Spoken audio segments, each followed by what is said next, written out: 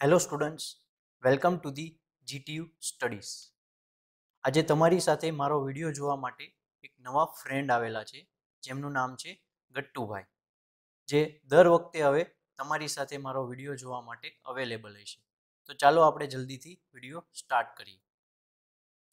આજનો જે વીડિયો છે, એ છે સબ્જેક્ટ કોમ્પ્યુટર એડેડ મેન્યુફેક્ચરિંગ માટેનો, જે અત્યાર સુધી, આ વર્ષ સુધી સેવન સેમેસ્ટરમાં કમ્પલસરી સબ્જેક્ટ તરીકે ઓફર થતો હતો, જેનો સબ્જેક્ટ કોડ હતો two one seven one nine zero three અને આ વર્ષથી જે સિક્સ સેમેસ્ટરમાં નવા સબ્જેક્ટ ઓફર થયેલા છે, એમાં પ્રોફેશનલ ઇલેક્ટિવ ટુમાં સિક્સ સેમેસ્ટરની અંદર આ સબ્જેક્ટ ઓફર થયેલો છે, જેનો સબ્જેક્ટ કોડ છે three one six one nine one seven જે ઘણી બધી કોલેજે આપેલો હોય છે, કારણ કે ઇલેક્ટિવ ટુમાં સૌથી આઈએમપી અને ઇઝી સબ્જેક્ટ કેમ જ હોય છે, એટલે ઘણા બધાને ઓફર કરેલો હોય છે. આ વીડિયો છે કેમ સબ્જેક્ટના સબ્જેક્ટ રિવ્યૂ રિલેટેડ? મીન્સ કે શું કામ તમારે computer aided manufacturing subject study કરવો જોઈએ?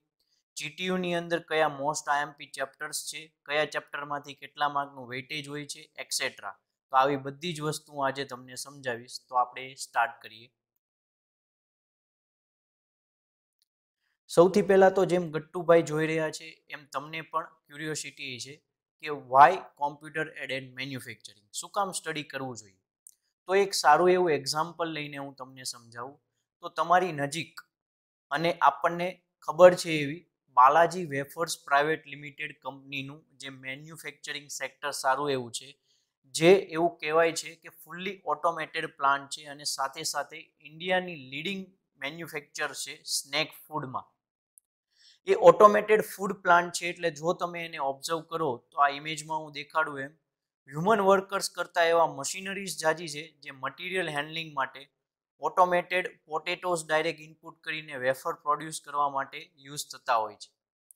ડાયરેક્ટલી વેફર પેક થઈ જાય પેકેટમાં અને એને સરખી રીતે સ્ટોરેજ કરવા માટે ઓટોમેટેડ વ્હીકલ્સ થ્રુ એને કાર્ટૂનમાં પેક કરીને સ્ટોર કરી દેવામાં આવે છે.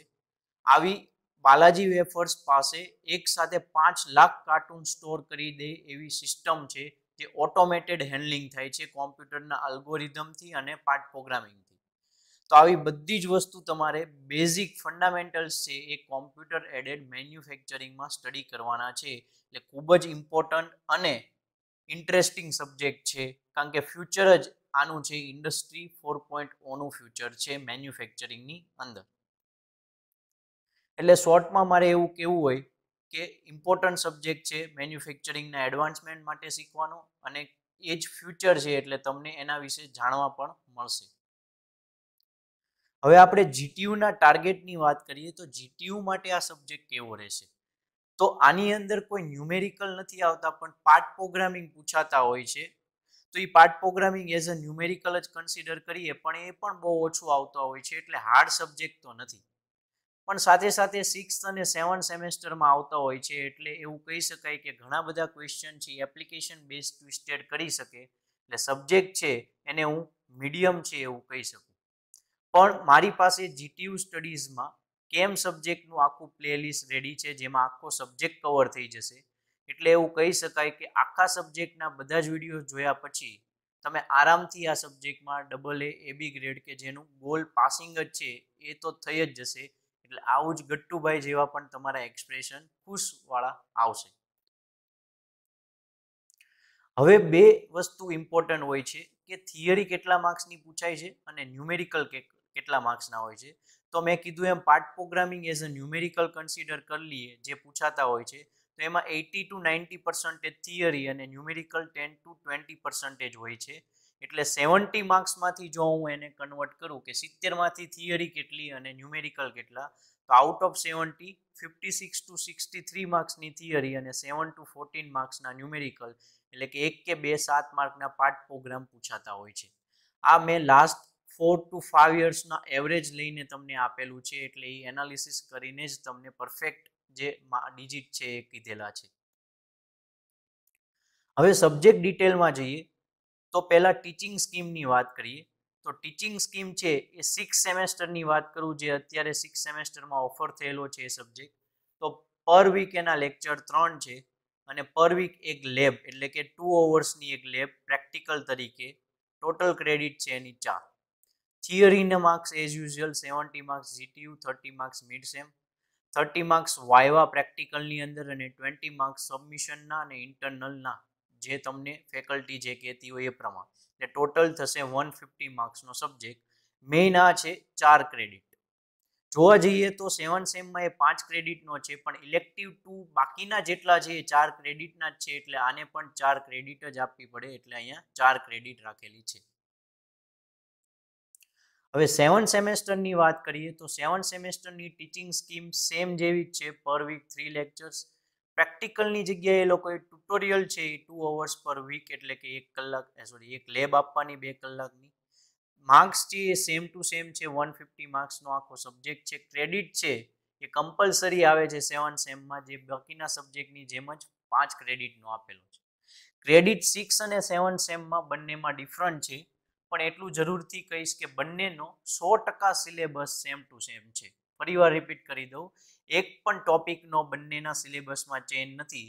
એટલે સિક્સમાં હો કે સેવન સેમેસ્ટરમાં મારું આખું પ્લેલિસ્ટ જુઓ તો દરેક ટોપિક તમારા લેક્ચર અથવા સિલેબસમાં હશે જ. એટલે પ્રિપરેશન આ પ્રમાણે જ કરજો. આપણે ન્યુમેરિકલ થિયરી રેશિયો એકવાર તો જોઈ લીધો, પણ એ એવરેજ હતી ફોર ટુ ફાઇવ યર્સની હું તમને લાસ્ટ જે પેપર થયો હતો, કેમનો રેગ્યુલર પેપર નવેમ્બર બે હજાર ઓગણીસમાં ત્યારે શું રેશિયો હતો ન્યુમેરિકલ અને થિયરીનો તો આખો પેપર તમને ખબર છે એ પ્રમાણે એકસો ઓગણીસ માર્કનો હોય વન વન નાઇનનો તેમાંથી વન ઝીરો નાઇન માર્ક્સની થિયરી અને ટેન માર્ક્સના પાર્ટ પ્રોગ્રામ એટલે કે ન્યુમેરિકલ હતા. એટલે કન્વર્ટ કરો તો ninety one percentage theory and nine percentage numerical હતા.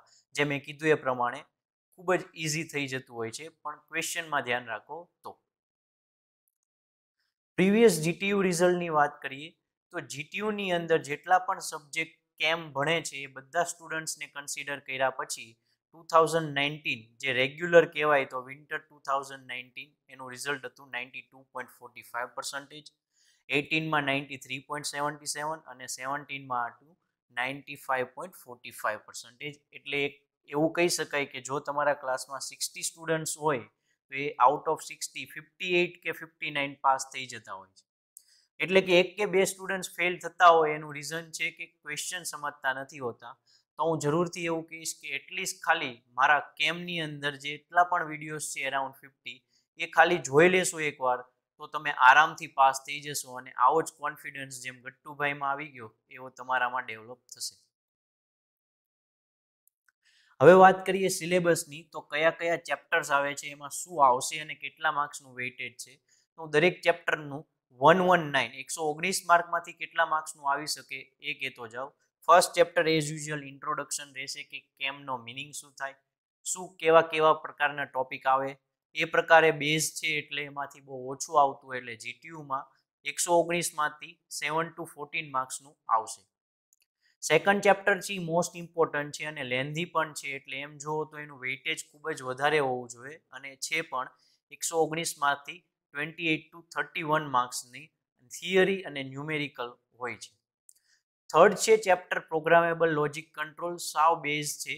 બે કે ત્રણ જ ક્વેશ્ચન આવે છે ચેપ્ટરમાં એટલે વેઇટેજ પણ એટલું બધું નથી, એટલે થ્રી ટુ ફોર માર્ક્સનું જનરલી હોય છે.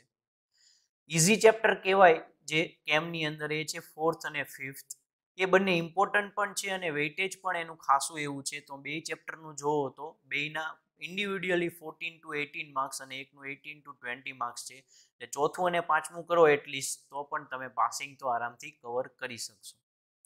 સિક્સ છે રોબોટ ટેકનોલોજી જે હવે ફ્યુચર એ જ છે કે રોબોટ ઉપરથી જ બધા વર્ક થતા છે. અને તમે જો open ઇલેક્ટિવમાં industry four point O subject select કર્યો હોય તો એમાં પણ રોબોટિક્સનું સ્ટડી કરવાનું આવશે. તો એ પણ તમારે આમાં યુઝ થશે અને એનું વેઇટેજ પણ સારું એવું છે એટીન ટુ ટ્વેન્ટી વન માર્ક્સનું અને લાસ્ટમાં છે કે આ બધાનું કેલ્ક્યુલેશન કરવું હોય, તો તમારે એનું પ્લાનિંગ કઈ રીતે કરવું? એટલે કે આખી પ્રોડક્શન મેનેજમેન્ટ સિસ્ટમને એકબીજા સાથે કનેક્ટ કરો ઇન્ટિગ્રેટ કરો. જે થોડુંક બેઝ છે, પણ ઇમ્પોર્ટન્ટ છે, એટલે વેઇટેજ વાઇઝ જોવા જાવ તો ફોર્ટીન ટુ સેવન્ટીન માર્ક્સનું ચેપ્ટર હશે.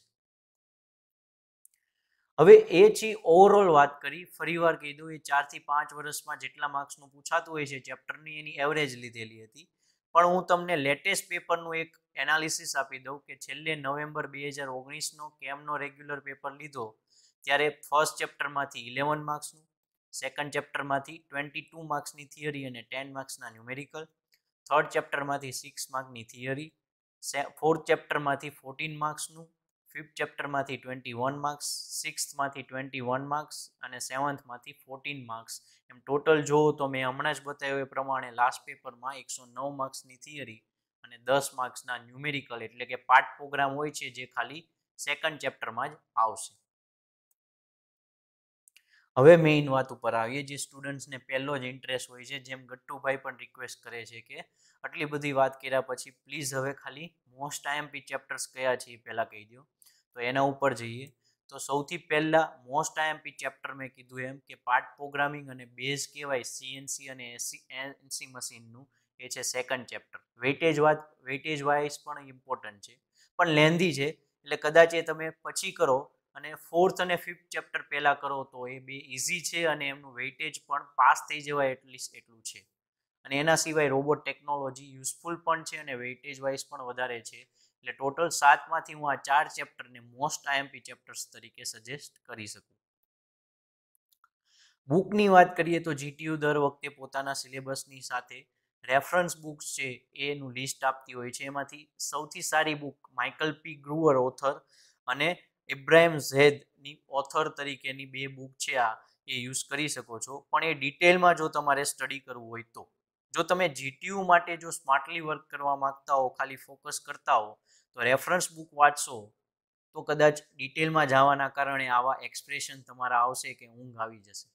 એટલે ખાલી જીટીયુ પર ફોકસ કરીએ તો એક્ઝામ માટે હું એવું સજેસ્ટ કરું કે કેમની અંદર ઘણા બધા પબ્લિકેશનની ટેક્સ્ટ બુક આવે છે, પણ ટેકમેક્સ પબ્લિકેશનની બુક સારામાં સારી તમારા માટે રહેશે.